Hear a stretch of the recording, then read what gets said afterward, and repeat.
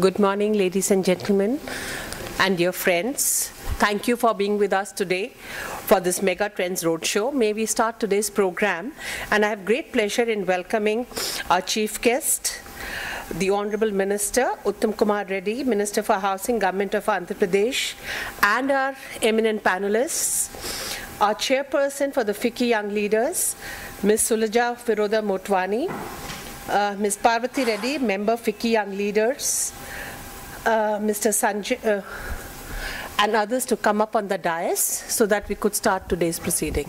If you could come up on the dais, please. Ms. Parvati. Uh, the ISB Dean, Mr. Ajit Rangnekar, who's been our co-host for this seminar and introduction to the Mega Trend Show in Hyderabad.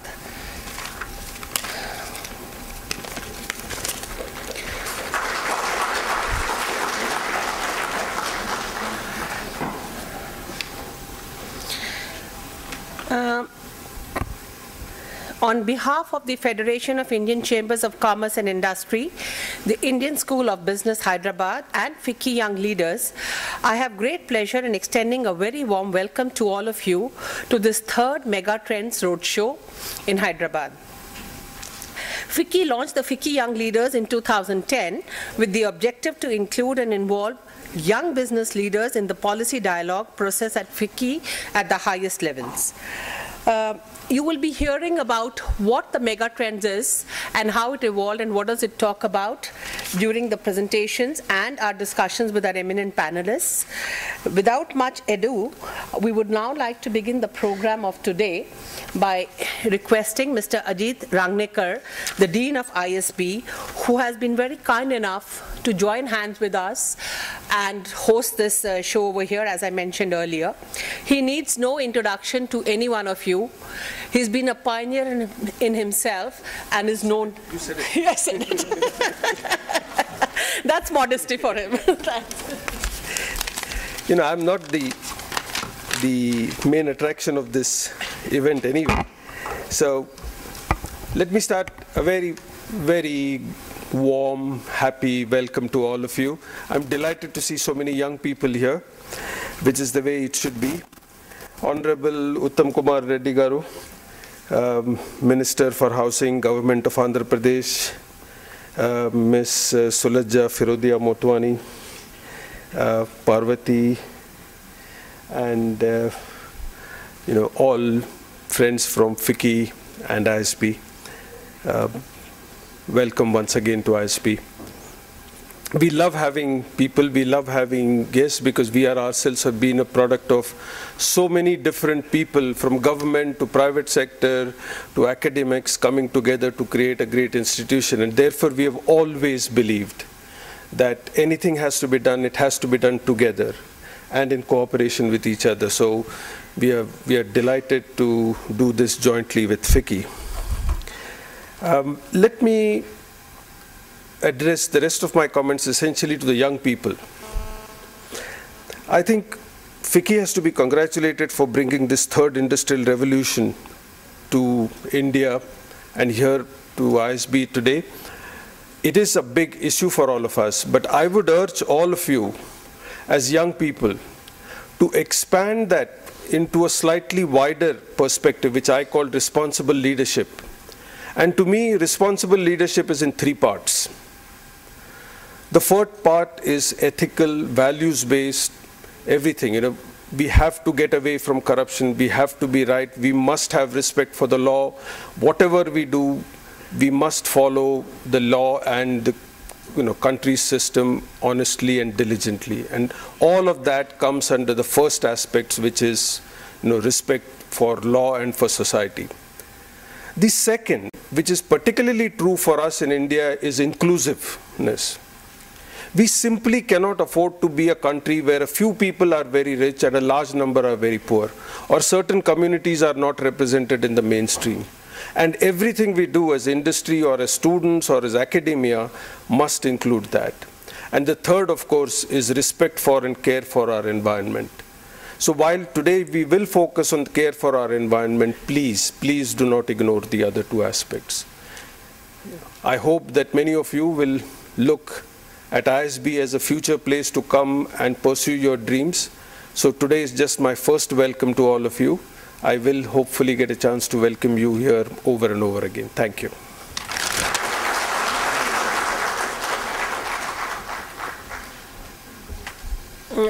We would follow it up with a video message by Mr. Je uh, Jeremy Rifkin, the President Foundation on Economic Trends USA and the chief propagator of the Third Industrial Revolution.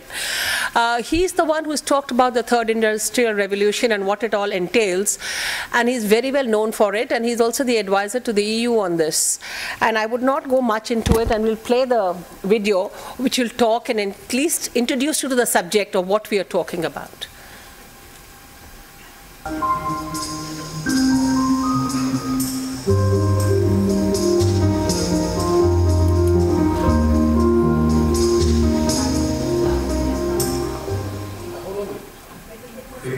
young leaders were brought to Jeremy, concept of industrial revolution, which is based on the notion that the great economic transformations in history talking about today and we thought it would be best described by the author himself when he had come to FICCI for a program which we had organized on the third industrial revolution under megatrends.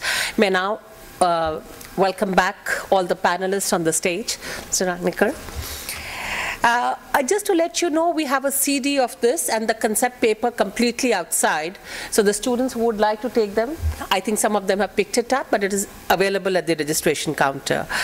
Uh, we would now move ahead, uh, and it's my pleasure inviting Ms. Sulajja Firodia Motwani, the chairperson of the FICCI Young Leaders and vice chairperson Kinetic Engineering Limited, to make a presentation further on this. She has got many awards and is accluded with a lot of things in her own personal right. Would you like to just speak your presentation? Stand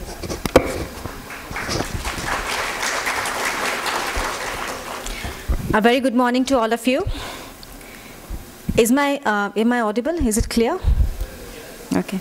Well, first of all, a very big thank you I would like to say to our very eminent chief guest, Shri Uttam Kumar ji, Uttam Kumar Reddy ji, who is, uh, we are blessed to have him here as one of the eminent leaders in Andhra Pradesh, but also someone who is a big proponent of green energy and has been doing a lot of work in that area. So thank you very much for being here with us.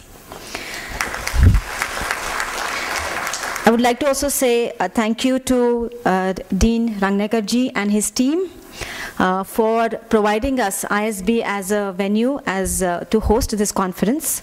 Uh, this I think is the most prestigious location possible in Hyderabad to bring such an innovative concept to the city. So thank you very much, sir.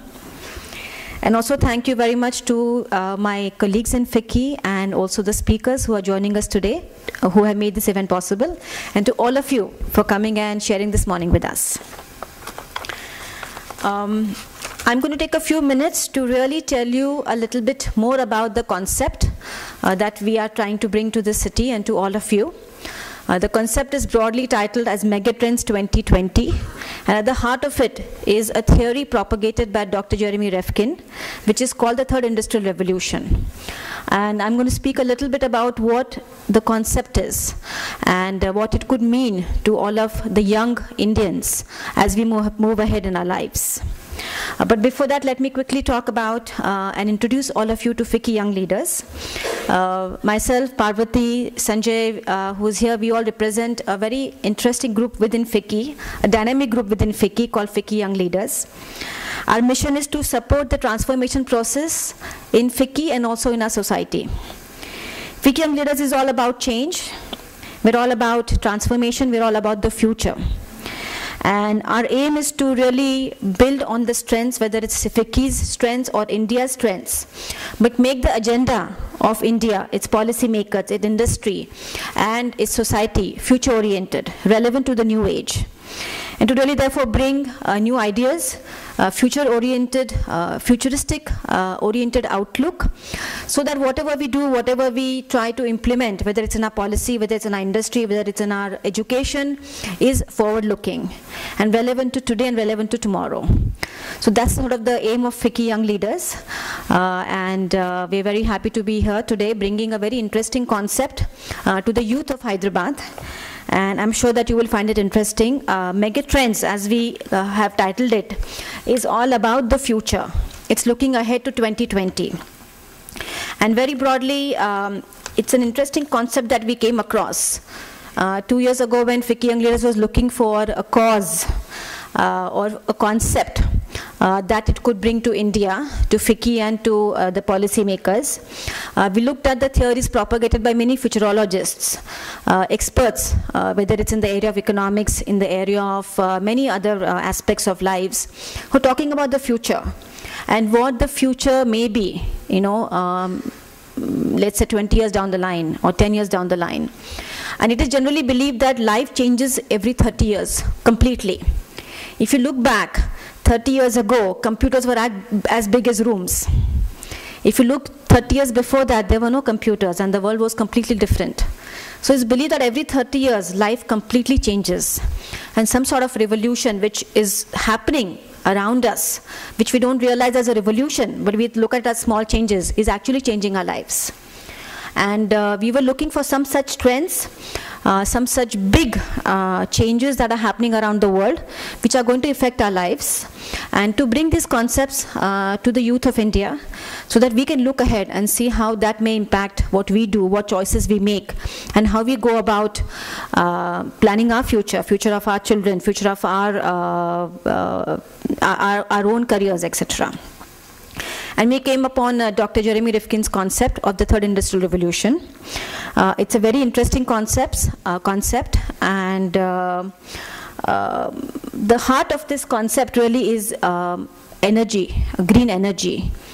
Uh, and very simply put, uh, of course, there's a lot of theory around it, but I think very simply put, what we are trying to say, what he's trying to say, is that this issue of energy, energy availability, energy security, energy consumption, is fundamentally changing our lives in more ways than we can imagine. If we look, in what's look at what's happening in India, India has imported 140 billion worth of oil last year, and our current account deficit is 75 billion dollars. So you can see how it impacts the economics of our own country. If you look at a broader scale, we know that the fossil fuels are going to deplete, and if we do nothing about it, we may run out of fossil fuels. Of course, the world is doing something about it and developing other sources of energy. This whole issue of climate change, pollution, and other effects is causing is going to change, uh, is going to impact our future generation, generations in a big way. The issue of energy security, availability of energy, and the need to secure energy is also changing the way the world is looking at politics. The whole international politics game is really today centered around energy and energy security. So in many ways, energy has begun to fundamentally impact our lives, our commerce, our industry, and our future. And Dr. Rifkin has really encapsulated that in a very interesting way by calling it an industrial revolution. He's saying that it's not just a change, it's not just a trend. The issue of energy and compounded by the availability of internet is actually going to cause the next industrial revolution. This is the concept. So let's look at what he says. He says that the first industrial revolution was ca caused by the availability of coal-powered steam engine and printing press. What did that do? That made printing press available, because of which newspapers were printed, and that improved the communication and awareness of uh, people about many things. It uh, allowed thoughts to reach out to many people. The availability of railways because of the uh, steam engine made farmers and others move to the cities and therefore created a new uh, paradigm of uh, industry and life and the way people reached out to each other. This is in the, back in the 19th century. The second industrial revolution was caused by the oil, indus, indus internal combustion engine mainly, which made uh, automotives uh, available for mass consumption. So people could commute, they could move from uh, longer distances, cities expanded, people moved to suburbs. Um, and that really allowed commuting and allowed uh, expansion of cities and of course the whole industrial revolution based on these industries. Similarly, and electricity, of course, the second industrial revolution was all about electricity, which changed life and work.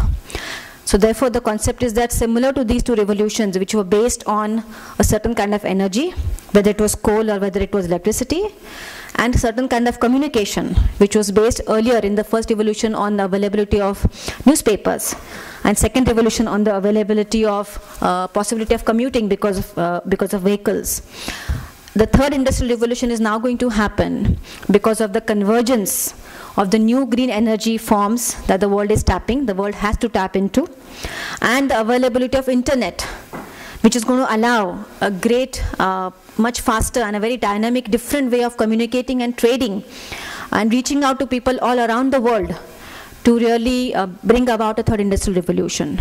So this is the concept that energy is fundamentally impacting our lives and that aided by the internet is going to change the way we live, the way we uh, do commerce, the way we consume and produce energy.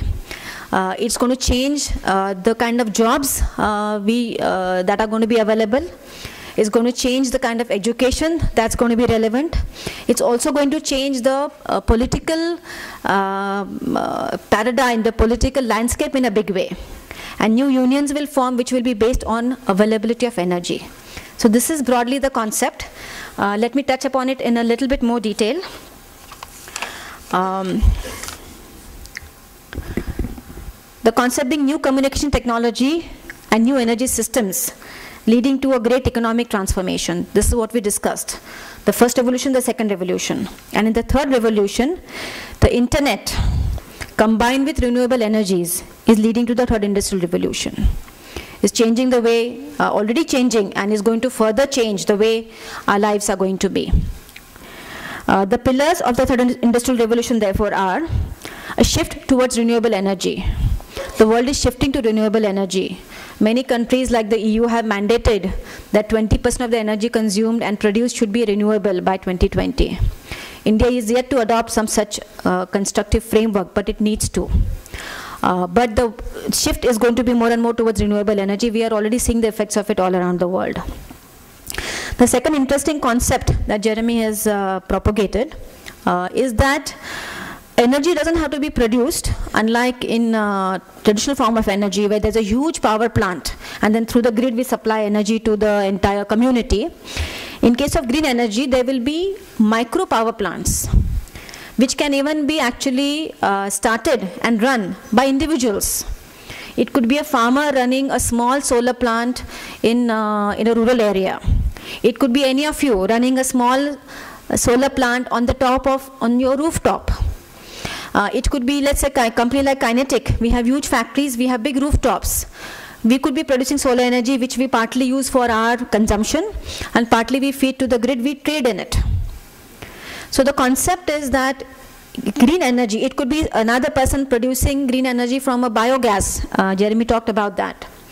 So it's not going to be one big, you know, um, state electricity board having a big power plant and distributing around the world, around the country, but hundreds and thousands of small power plants built up by people like you and I, or in rural areas, farmers, who are creating and producing this green energy from biogas, from solar areas, from micro windmills or whatever have you. And this is the concept that there will be millions of micro power plants, not few big power plants. Third is to support the storage of this energy produced so that it can be traded. There needs to be uh, new technologies that will allow it to be stored in an efficient way. So hydrogen or other forms of storage uh, of these technologies will have to evolve. They are evolving already. And the fourth interesting area is that in, similar to the internet, there will be an energy grid, intergrid. So once you produce energy, you can sell it to someone else on this intergrid. And because of the availability of internet, you can reach out to anyone in the world. You're not dependent on physically reaching a place, but you can reach to anyone and you can trade. Like on the internet, uh, you know, you can buy things from anywhere in the world, you can sell things to anywhere in the world. Similarly, energy can be traded. So internet will facilitate distribution of energy. And of course, supported that by also using this new energy for transportation. Uh, the world will move more and more towards uh, vehicles which use uh, uh, uh things like fuel cells, Uh, lithium ion batteries, basically green, uh, low carbon, low emission uh, transportation. So this is the concept that new energy will create millions of new entrepreneurs. Internet will allow people to trade energy, talk to each other. people will become self-sufficient in energy and further distribute what they have excess. And people will move around in um, green vehicles. Just summarizing, as I said before, the first industrial revolution was powered by uh, steam engine. Second by automation and mobility, which is the oil-based, uh, internal combustion engine-based technology. And the third industrial revolution will be propelled by the power of connectivity, power of mind and energy farming, and mass entrepreneurship. So this, if you imagine this world where thousands of people are producing energy and, and trading on it, you can see what kind of change it will bring about in our lives. And the idealistic uh, view is that there will be no poor, no hunger, and no unemployment anywhere in the world in the third industrial revolution. This is sort of you know the the big uh, uh, dream. Now, what's the relevance of internet in this? I'll not spend too much time, but I'll tell you broadly what the internet is doing is that it's creating a new dynamic ecosystem. Because of the internet, barriers of time, space, and geographical location, locations have been broken. Anyone can talk to anyone, anyone can reach anyone. You don't need to physically travel from place A to place B.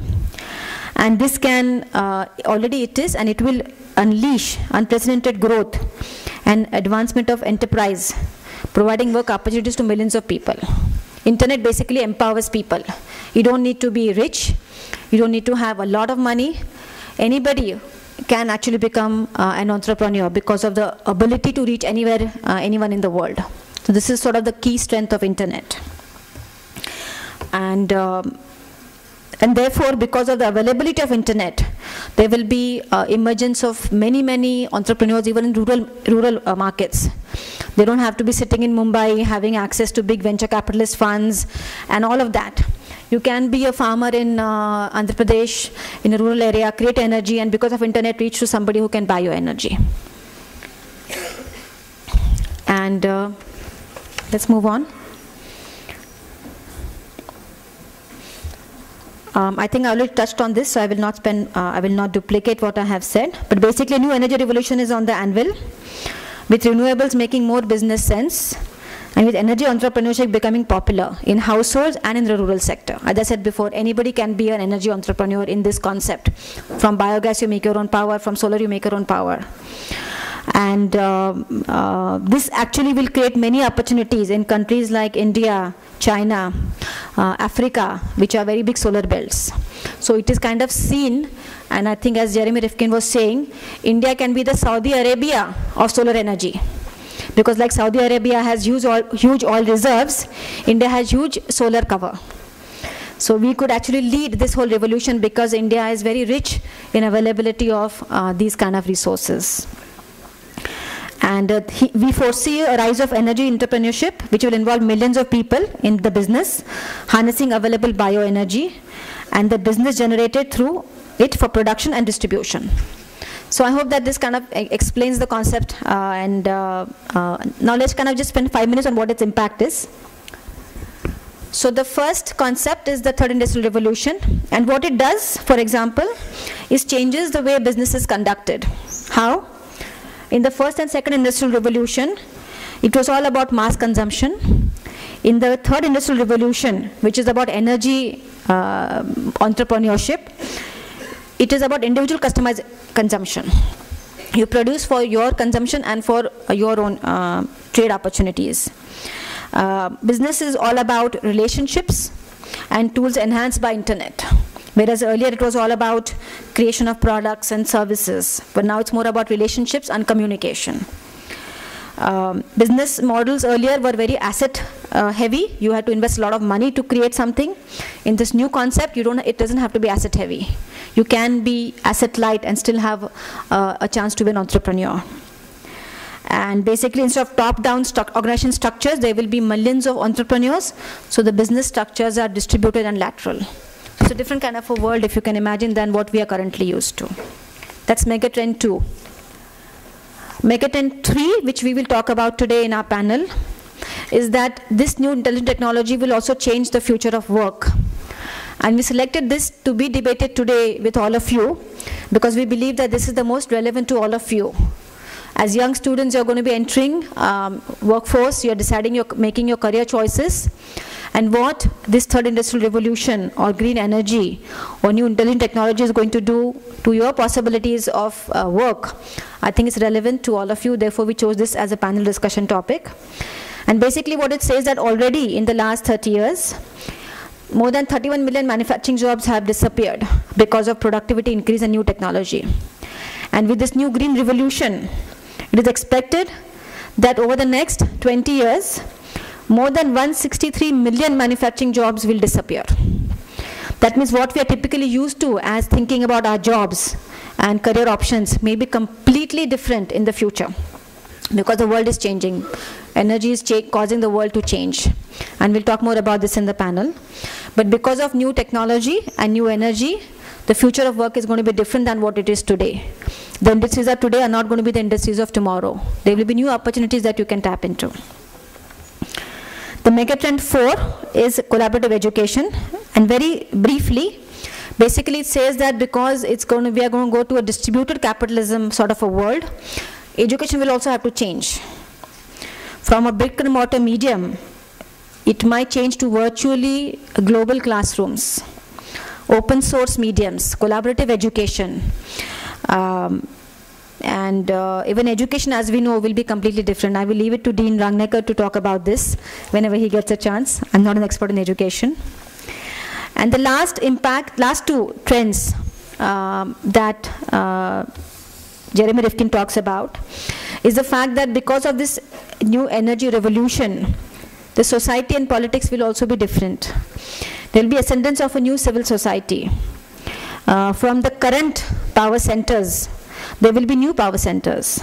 Social media and cultural and uh, shared cultural and global economic networks will play emphasis on social capital, on human interactivity. So the society, as we know, will also change. It will be youth-based, it will be relationship-based, it will be open, it will be collaborative, and not the way we see it, which is top-down and uh, autocratic. And the last megatrend, which is megatrend 6, is uh, also pred it's predicted that there will be a big change in uh, the way the world operates from globalization to con continentalization.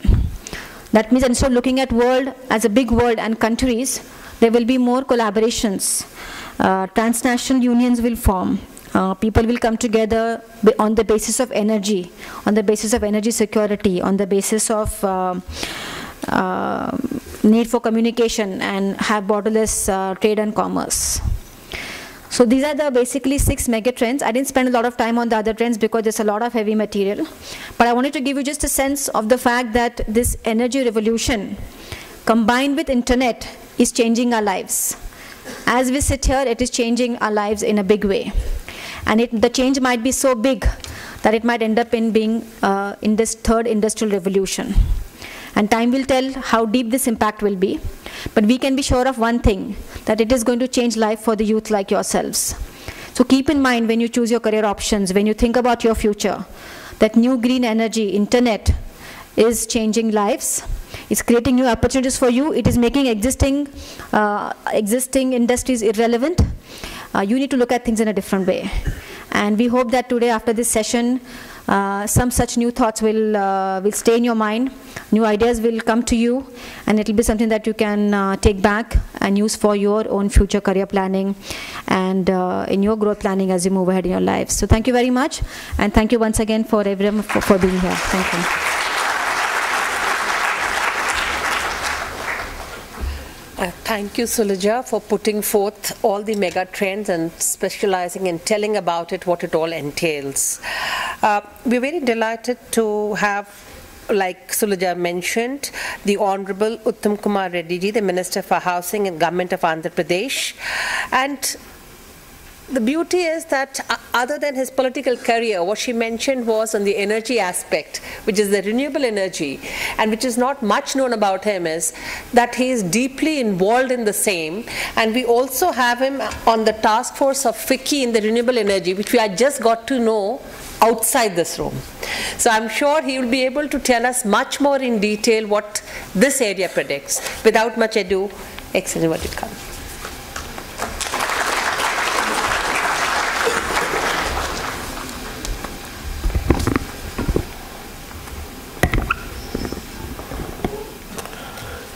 Dr. Manju Kalra Prakash, Dr. Ajit Rangnekar, Mrs.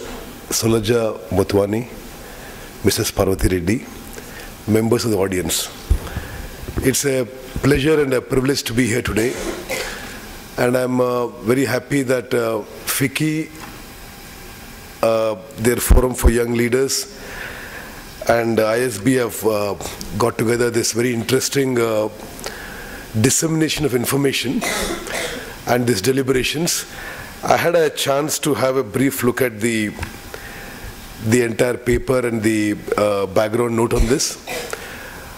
Uh, let me just give you, uh, because all of you are uh, very young people, uh, some background of myself uh, which will be of interest to you. Well, I'm Minister for Housing in Andhra Pradesh now, but my basic background was as a fighter pilot in the Indian Air Force. I flew MiG-21s and MiG-23s in the Indian Air Force for many years, and then I was in uniform in service uh, with uh, two presidents of India. I worked as an ADC with in the Rashtrapati Bhavan, and uh, subsequently now I'm in politics. Before I go on to the main subject, uh, for members of the audience and the distinguished uh, uh, guests on the dais, you'd be happy to know that housing, I thought I'll just cover it for a minute before I go on to the main subject. The largest ever government supported and government subsidized housing program in the world for the poor is being done in Andhra Pradesh now.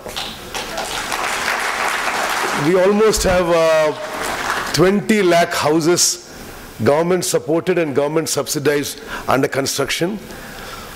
Uh, we, we are spending almost uh, about 10,000 crores a year on uh, government uh, supported housing in Andhra Pradesh.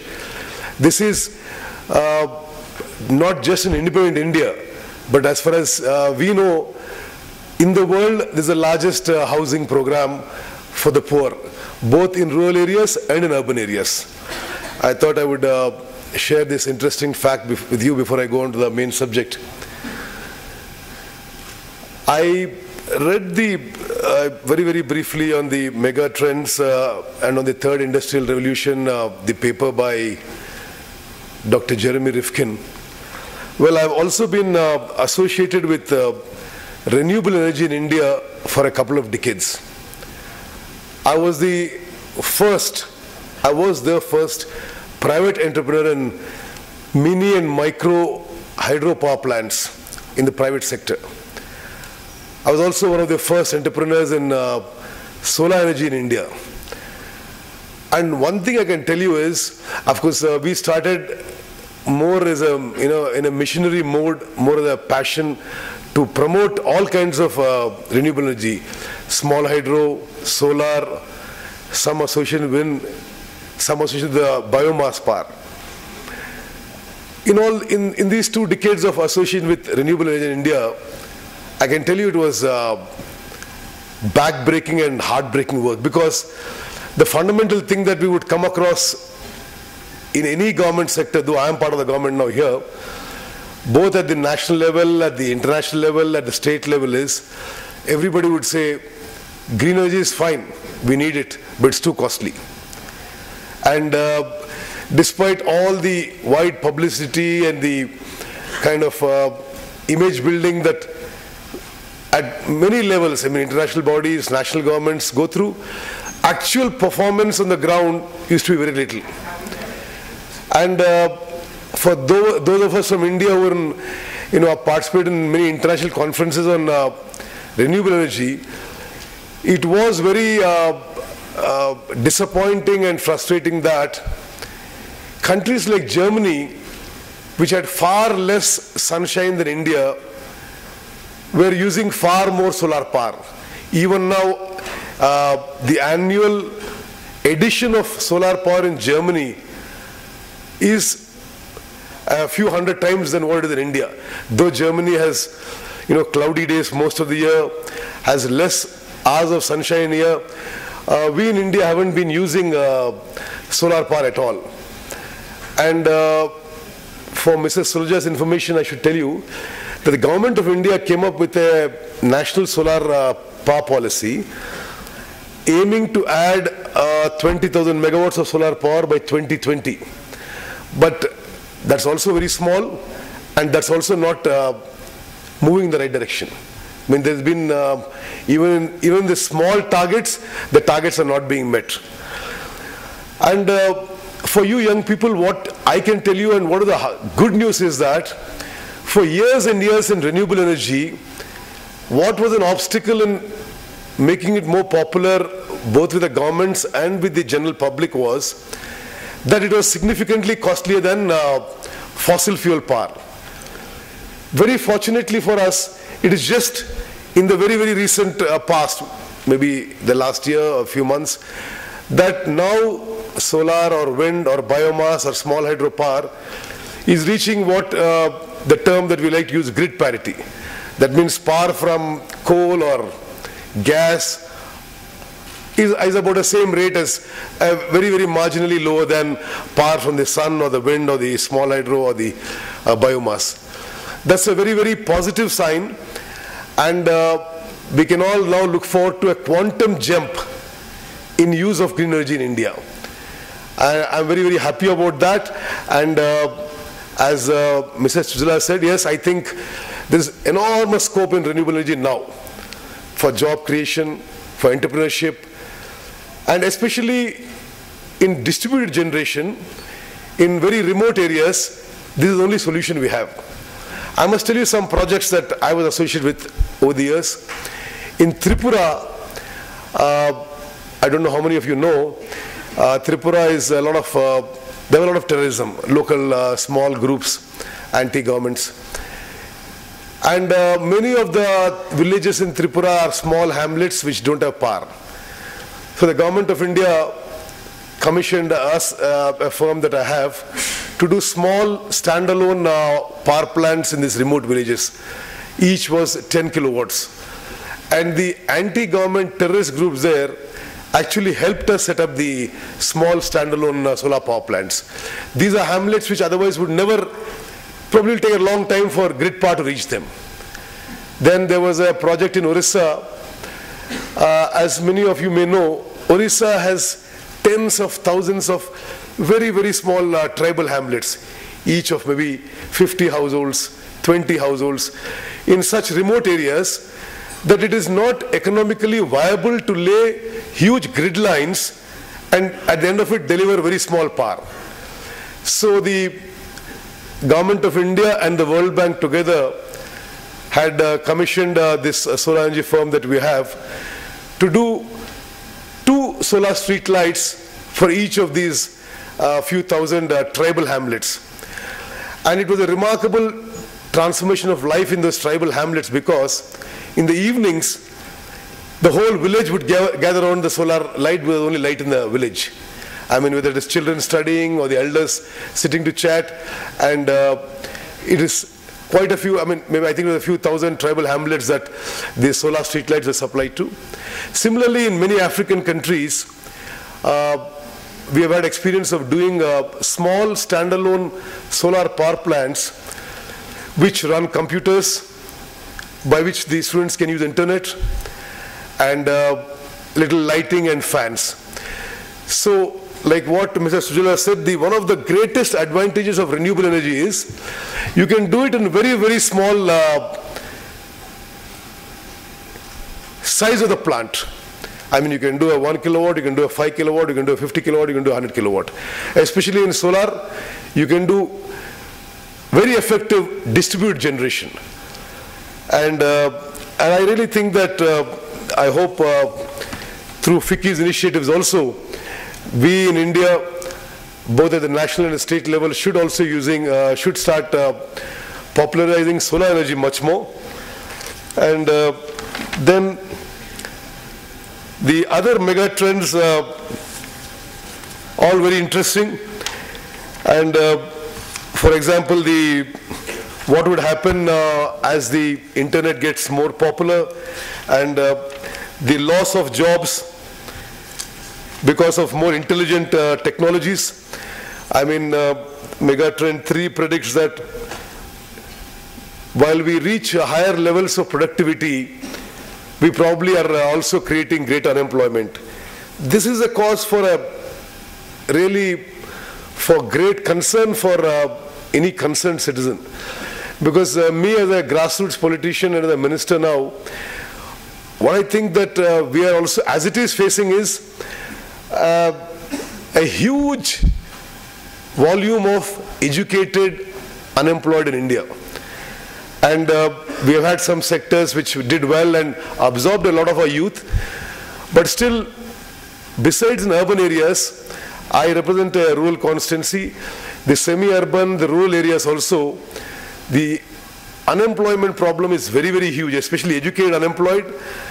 And what has happened is that, I can tell you from a practical point of view, most of our youth in rural areas now don't want to work in agriculture. They have, you know, very educational, uh, partly educated, slightly educated, unable to uh, employ themselves in agriculture, unable to find any uh, jobs that they're seeking. And this is, and the use of intelligent technologies will uh, further uh, make this problem more acute. And I, I hope uh, the deliberations and future papers come up with appropriate uh, solutions to this. And uh, the other mega trend about the ascendance of civil society, definitely I think it should be a very, very welcome uh, feature. And uh, I'll share one uh, thing with you about civil society. If you compare India with democracies of equivalent time, I mean, we are a 56 year old uh, independent country.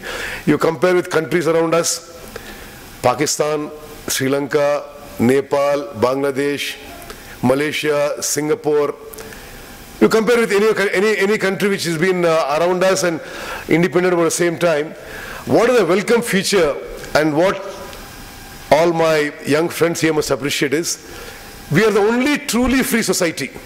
You, you, know, this level of democracy, this level of freedom in all these countries that became independent along with us doesn't exist. Free media, I mean, the level of uh, independence and freedom that media in India has, I don't think they have it in Sri Lanka, they don't have it in Pakistan, they don't have it in any other, though they're supposed to be independent and democratic and all that, but the level of freedom, the level of independence, the level of freedom in media is, the highest in India and we should also be, all be grateful to our forefathers of the constitution for this. And hence I feel civil society has and should have a great role to play in all affairs of the state. And uh, I'm really happy to be here and uh, share my thoughts with you. I'm sure this uh, deliberations today also will contribute towards taking these concepts further. I think it's a, a wonderful initiative of the young leaders of FICCI and of uh, Indian School of Business. I, I deem it uh, a pleasure and privilege to be here, and especially when uh, I was just asking uh, you know, the dean uh, what, what year was started in. I was an opposition MLA when the ISB was conceptualized and started, and uh, part of the many debates in the assembly on, on what concept it should take and, you know, whether we should have reservation in the ISB or, you know, how much land we should give. And uh, I'm happy that I was a part of it and happy this has come up. And it was a very pleasant surprise to me that the Indian School of Business is the number one business school in India and ahead of the IIMs. I was very happy to read about that. Uh, on behalf of the government of Andhra Pradesh, I can assure you that whatever support we can give you, we will be with you. Thank you very much.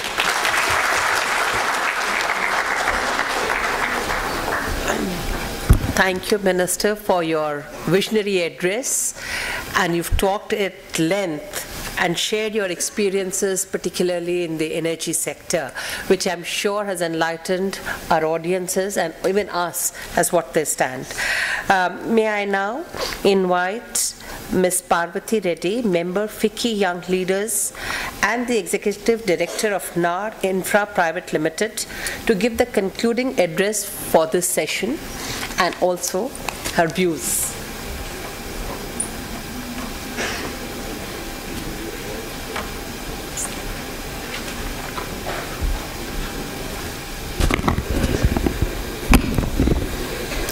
Good morning to one and all. It's a great pleasure for me to have present this uh, FICCI event here today.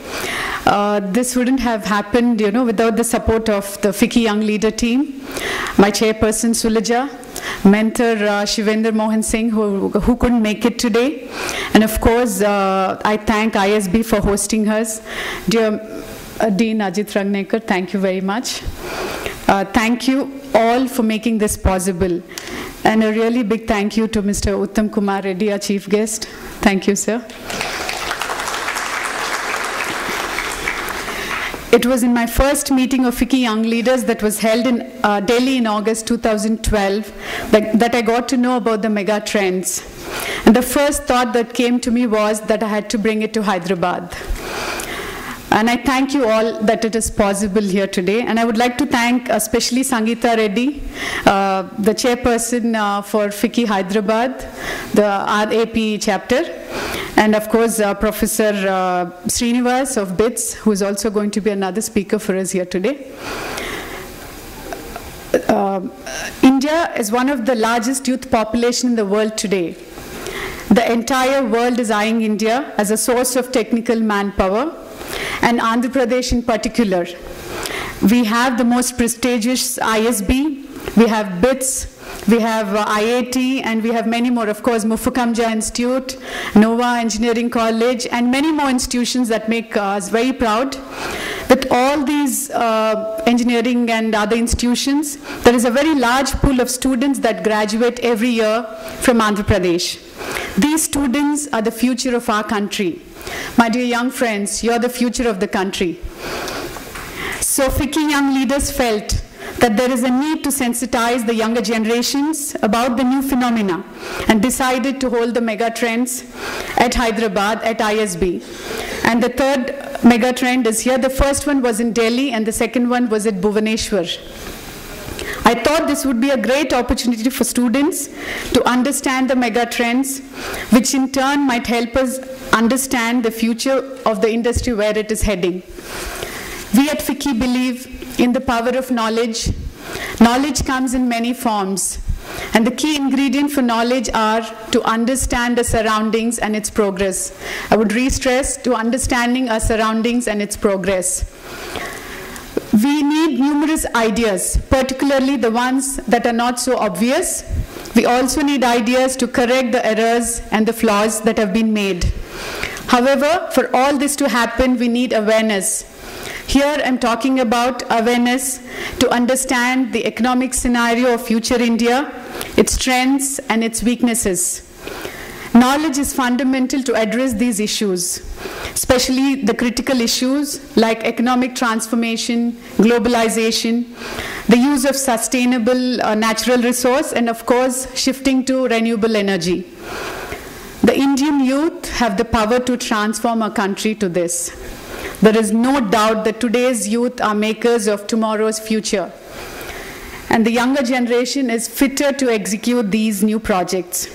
I would like to say there is something about the Indian youth. This is my personal experience. There is really something about the youth. There is zealousness and there's willingness. There is, uh, they want to change the world, and I can see that. So you, my friends, can change the world for the future, for a better future. And I think you will change, uh, change it to the positive side of it. And I would like to share a quote by Kofi Annan. Young people should be at the forefront of global change and innovation, empowered. Empowered, they can, they can be the key agents for development and peace.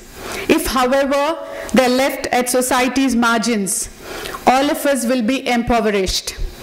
Let us ensure that all our young people have every opportunity to participate fully in the lives of societies. You, my dear friends, are the principal agents of social change, economic development, and technical innovation. We hope that this event inspires you to understand the challenges our world is facing in the form of population growth, resource consumption, and environmental degradation. And look up to the future with a positive approach to rebuild a crisis free, energy resourceful future. By bringing this mega trends to Hyderabad, we are hoping to make you aware of the importance of third industrial revolution, its effect on our society. We strongly believe that you will gain valuable information that will ena enable you to share it with your fellow students back in your colleges and institutions. We are certain you will give innovative ideas to make a difference for your chosen careers, for yourselves and the country at large, and build a better country. I wish to thank each and everyone present here. Uh, all the very best for your future endeavors, and thank you for being here today. Thank you very much.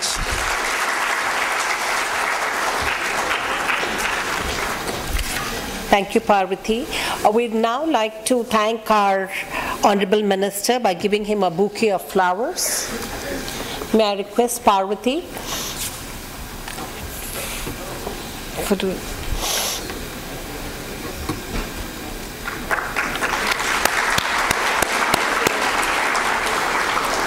We would also like to thank the Dean of ISB for being the host today for this wonderful program which we could organize because of him. A bouquet of flowers which you may like to give Sulajja.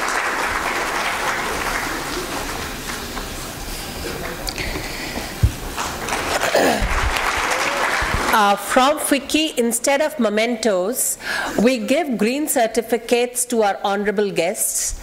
And today we have great pleasure in giving the green certificate uh, Sulajja to our minister, wherein we grow uh, the trees in the name of the honorable guest at one of the conservations.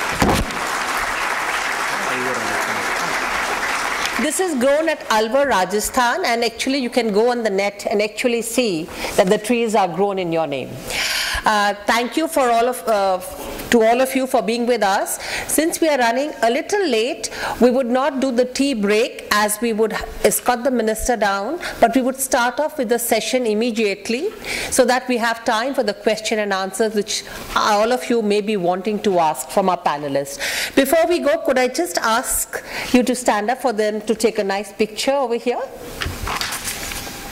Thanks. Would you like to come? Mr. Professor Srinivasan from BITS, if he's here. Mr. M.B. Srinivasan. Yeah, Mr. M.B. Srinivasan, if he's here. Mr. Neela Kumar.